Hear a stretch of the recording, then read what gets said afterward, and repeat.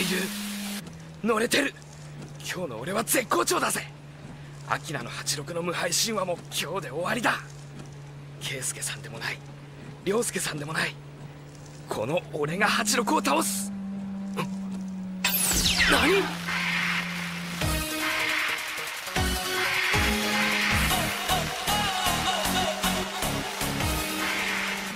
？86がすぐ後ろにいる。いつの間に嘘だろ何が起こった？